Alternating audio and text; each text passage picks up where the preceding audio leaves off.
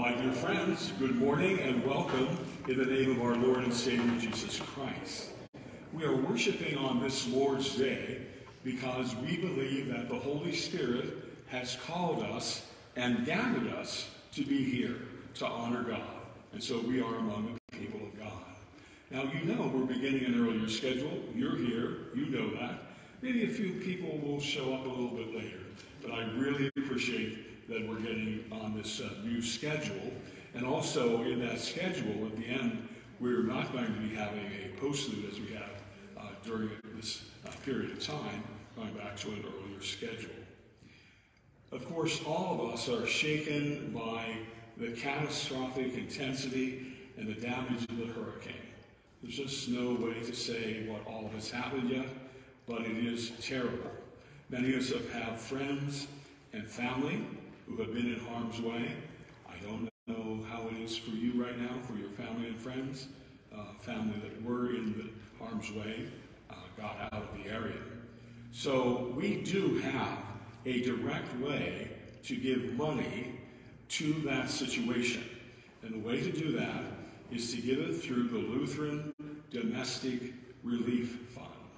Lutheran Domestic Relief Fund, and that will target that hurricane situation and others. I put a check in this morning and put on the bottom line uh, that uh, notation, the Domestic Relief Fund.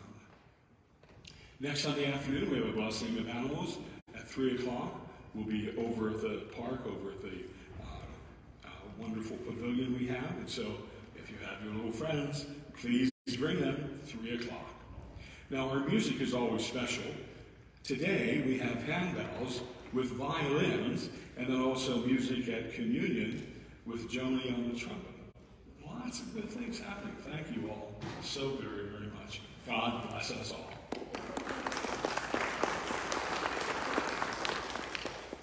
And I have my white gloves on so I can play bells. And so we listen, we pray, and we give thanks.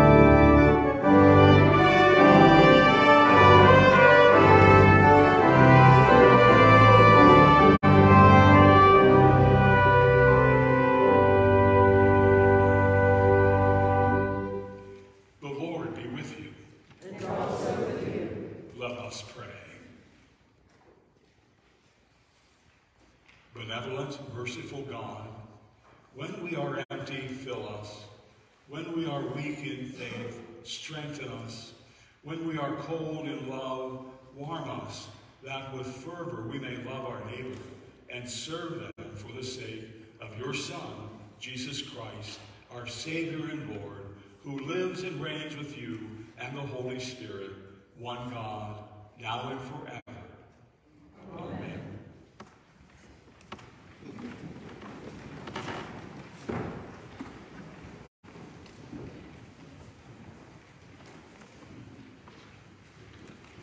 The first reading for this morning is taken from the book of Habakkuk, the first chapter. The oracle that the prophet Habakkuk saw. O Lord, how long shall I cry for help, and you will not listen? Or cry to you violence, and you will not save? Why do you make me see wrongdoing and look at trouble? Destruction and violence are before me, strife and contention arise. So the law becomes slack, and justice never prevails. The wicked surround the righteous, Therefore judgment comes forth perverted. I will stand at my watchpost and station myself on the rampart. I will keep watch to see what he will say to me and what he will answer concerning my complaint. Then the Lord answered me and said, Write a vision, make it plain on so that a runner may read it. For there is still a vision for the appointed time. It speaks of the end and does not lie. If it seems to tarry, wait for it. It will surely come, it will not delay. Look at the proud. Their spirit is not right in them, but the righteous live by their faith.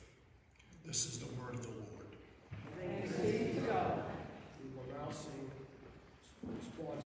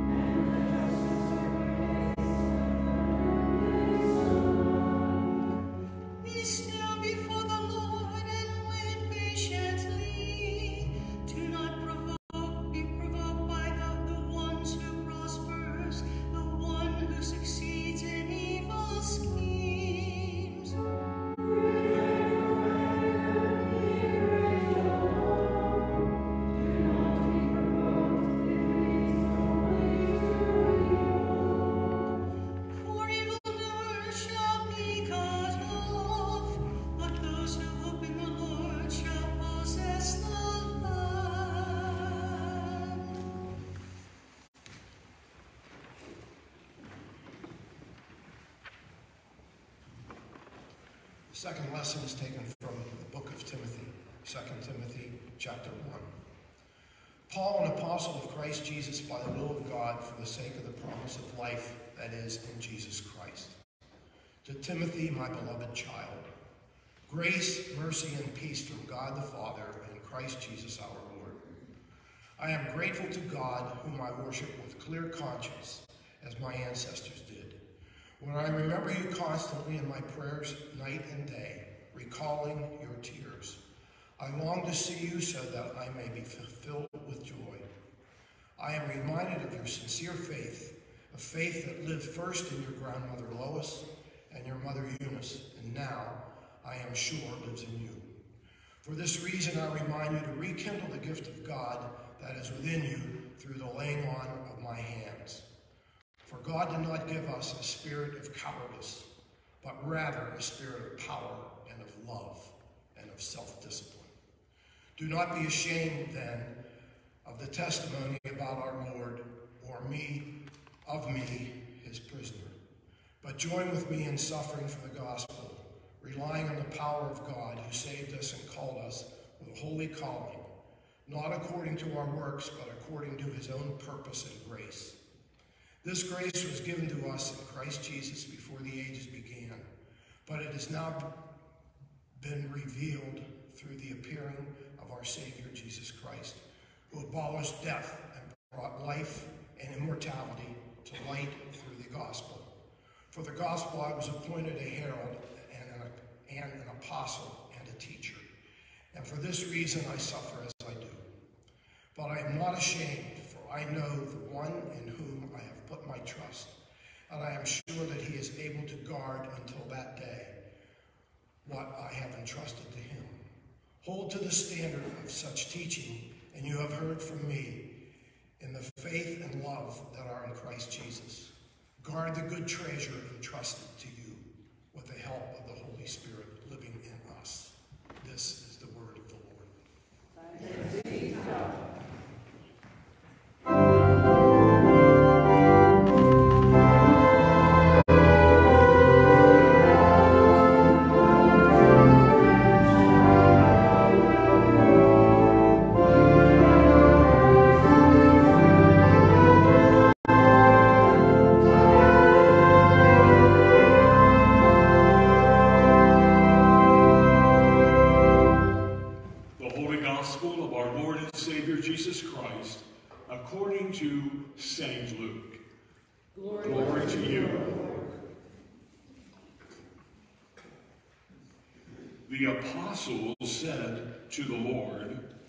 Increase our faith. The Lord replied, If you had faith the size of a mustard seed, you could say to this mulberry tree, Be uprooted and planted in the sea and it would obey you. Who among you would say to your slave who has just come in from plowing or tending sheep in the field, Come here at once and take your place at the table?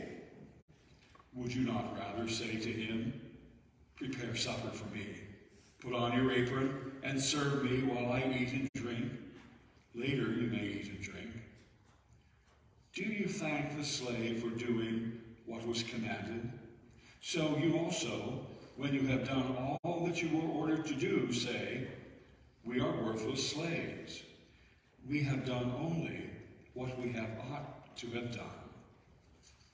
The Gospel of our Lord. Praise to you, O Christ.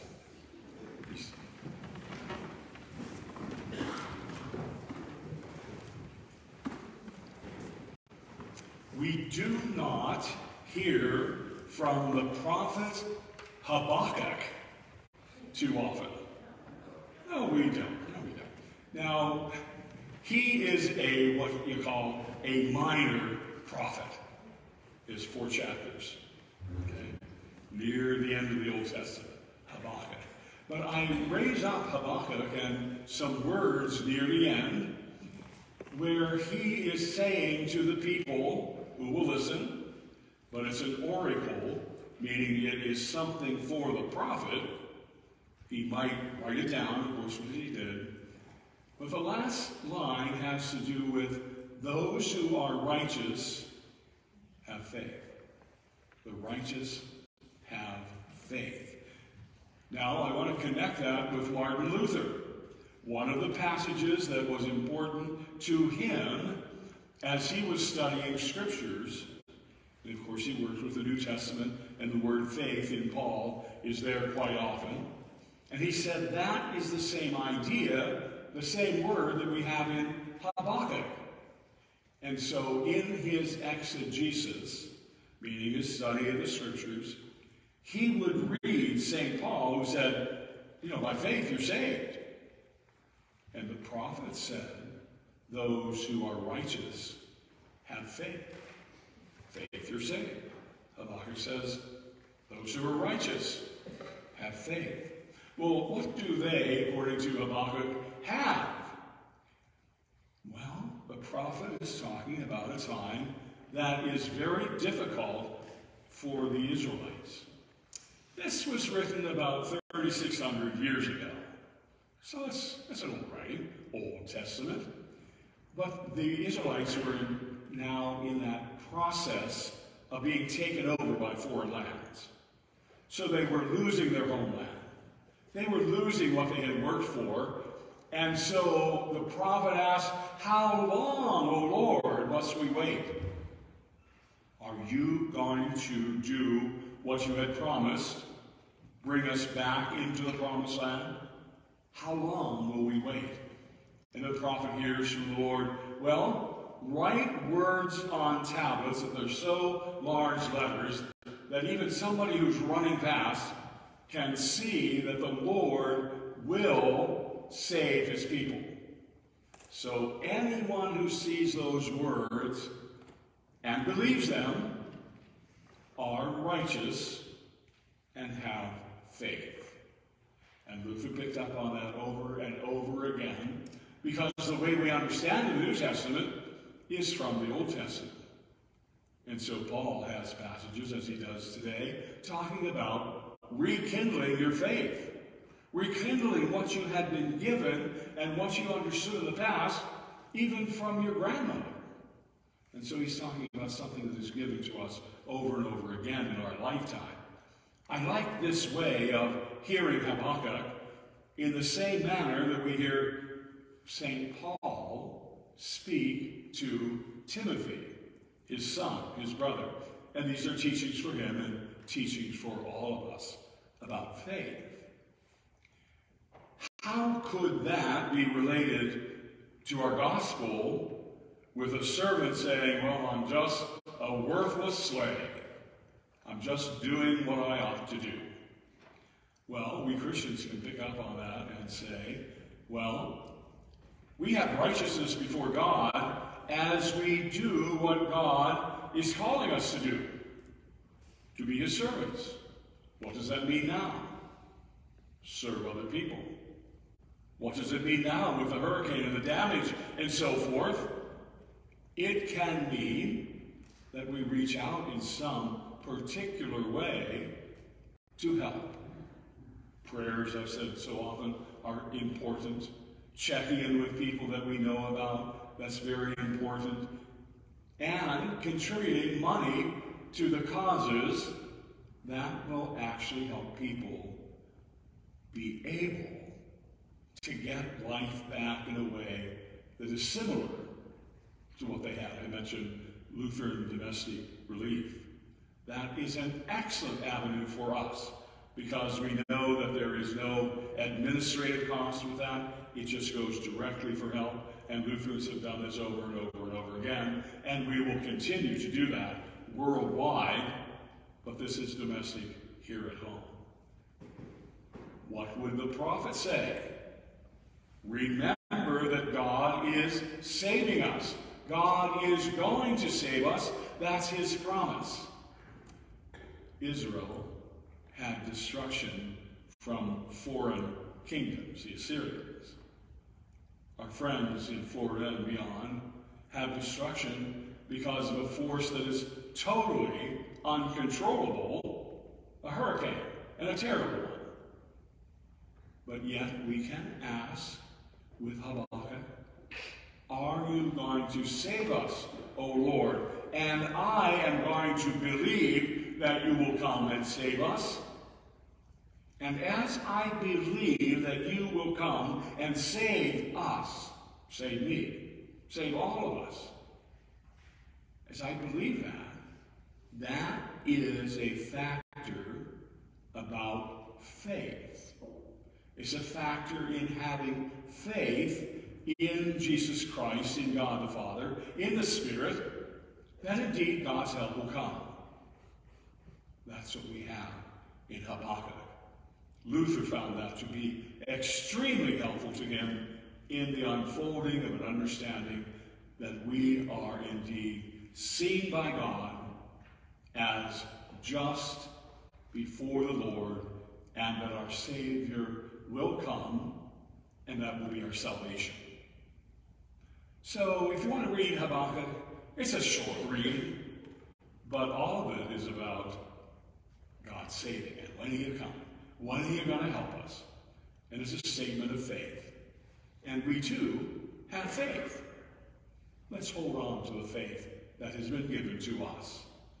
Amen.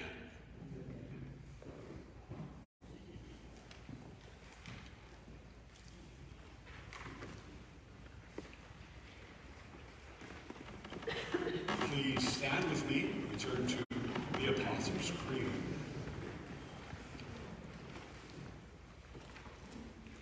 I believe in God.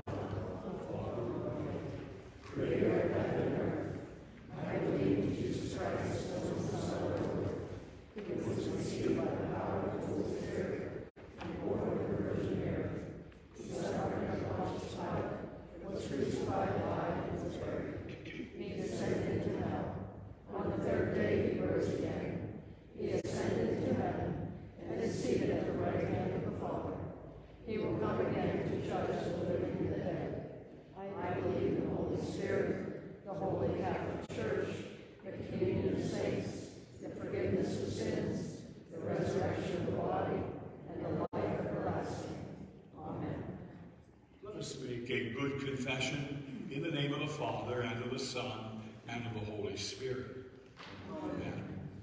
God of all mercy and consolation, come to the aid of your people, turning us from our sin to live for you alone. Give us the power of your Holy Spirit so that, attentive to your word, we may confess our sins, receive your forgiveness, and grow into the fullness of your Son, Jesus Christ, our Lord.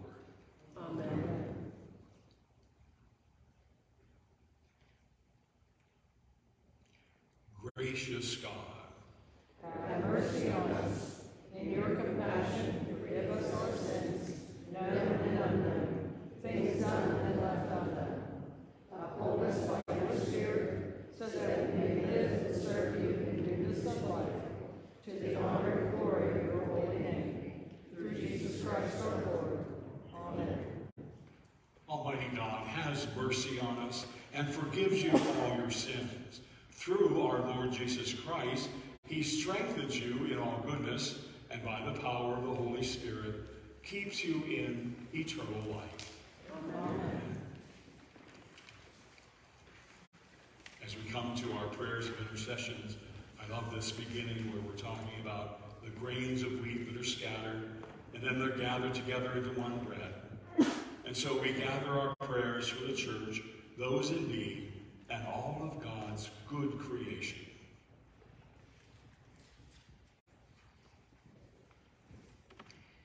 We pray for your holy church in every place and for those who serve following the example of Christ.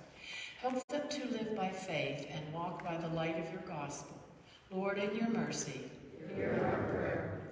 for parts of the world ravaged by natural disaster, relieve those affected by floods, wildfires, droughts, earthquakes, tornadoes, and hurricanes. Lord, in your mercy, Hear our prayer. For every nation and for those entrusted with authority, grant our leaders self-discipline in all things, and inspire them with love for your people. Lord, in your mercy, Hear our prayer.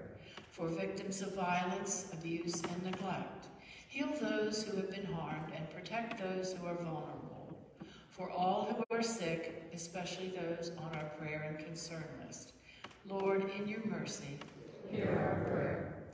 For, those, for this and every congregation, rekindle your gifts within your people and inspire councils, committees, and individuals to plan and work together that all may know your love.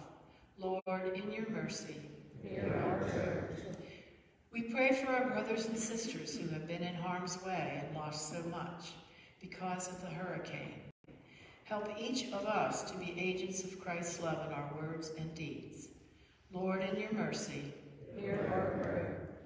Help us trust in the good intentions of so many people in this time of helping one another in special ways. We remember the dead, the injured, people with no shelter and essentials of living. Please pause with me for a time of silence. We offer prayers of our hearts.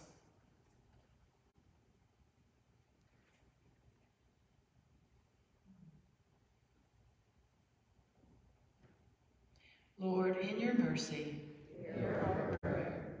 in thanksgiving that you have abolished death, and for the saints who have died, bring us all to eternal life with you. Lord, in your mercy. Heavenly Father, we thank you for gathering us together in the sweet communion of the Holy Spirit, for we know of your grace and love in Jesus Christ. So we offer all of these, our prayers, to you through your Son, Jesus Christ our Lord. Amen. May the peace of our Lord and Savior Jesus Christ be with all of you, And also with you. We share a sign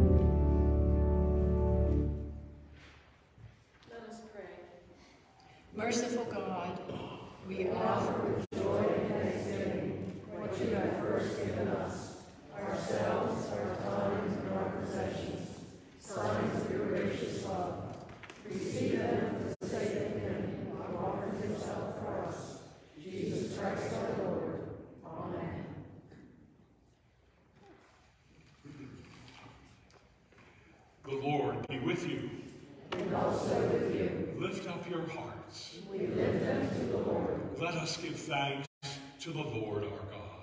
It is right to give our thanks and praise. It is indeed right and salutary that we should at all times and in all places offer thanks and praise to you, O Lord, Holy Father, Almighty and ever-living God, who on this day overcame death and the grave, and by his glorious resurrection opened to us the way of everlasting life. And so the church on earth and the hosts in heaven, we praise your name and join their unending hymn.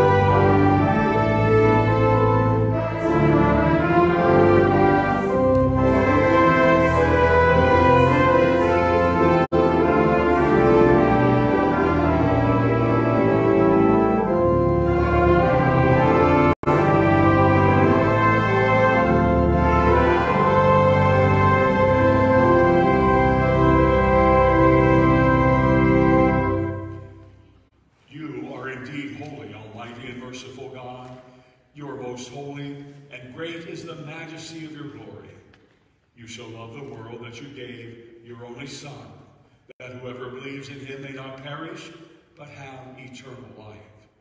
Having come into the world, he fulfilled for us your holy will and accomplished our salvation. In the night in which he was betrayed, our Lord Jesus Christ took bread, he blessed it and broke it, and gave it to his disciples, saying, Take and eat. This is my body, which is given for you. Do this for the remembrance me.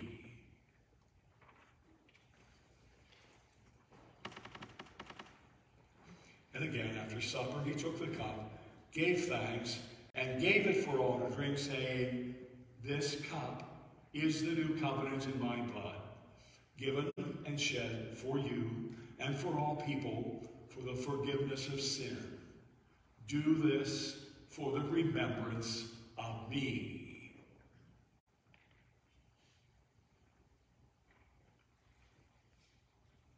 Remembering, therefore, his salutary command, his life-giving passion and death, his glorious resurrection and ascension, and his promise to come again. We give thanks to you, Almighty God, not as we ought, but as we are able. And we implore you to mercifully accept our praise and thanksgiving, and with your word and Holy Spirit, to bless us, your servants, and these your own gifts of bread and wine, that we and all who share in the body and blood of your Son may be filled with heavenly peace and joy, and receiving the forgiveness of sin, may be sanctified in soul and body, and have our portion with all your saints. All glory and honor is yours, O God, Father, Son, in the Holy Church, both now and forever. Amen.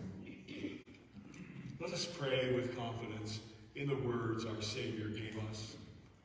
Our Father, who art in heaven, hallowed be thy name. Thy kingdom come, thy will be done, on earth as it is in heaven. Give us this day our daily bread, and forgive us our trespasses, as we forgive those who trespass against us. And lead us not into temptation, but deliver us from evil. For thine is the kingdom, and the power,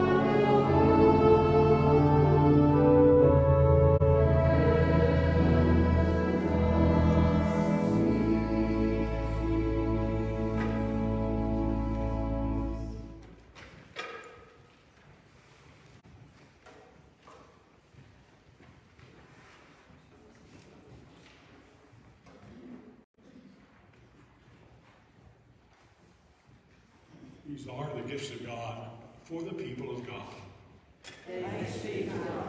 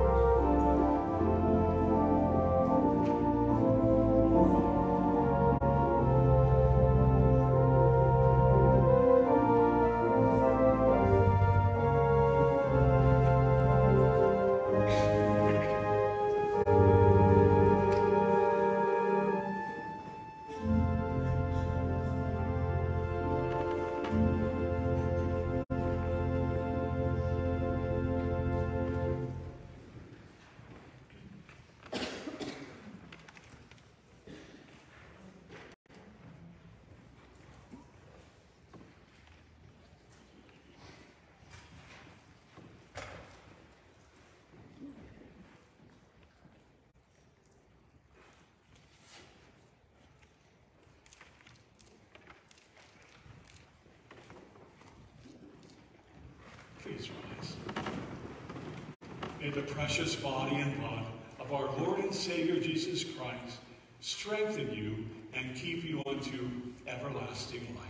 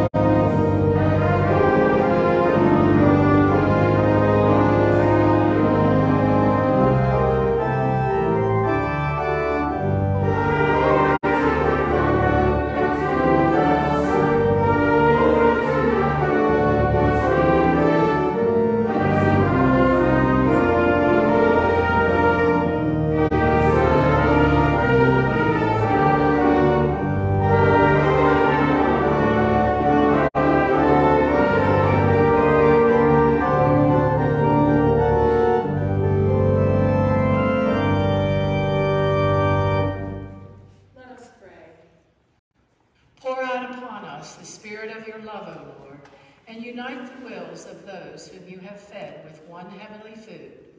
Through Jesus Christ, our Lord. Amen. The Lord bless you and keep you. The Lord make his face shine upon you and be gracious to you. The Lord look upon you with favor and give you peace. In the name of the Father, and of the Son, and of the Holy Spirit.